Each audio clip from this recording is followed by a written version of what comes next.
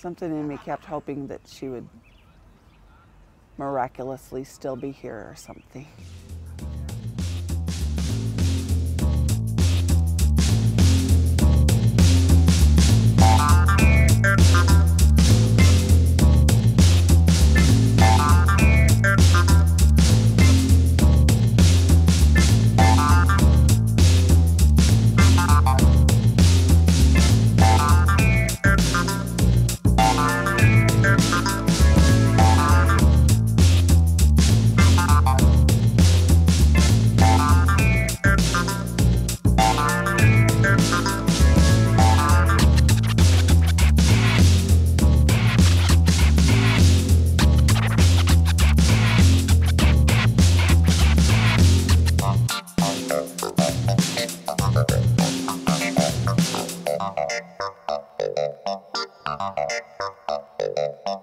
Thank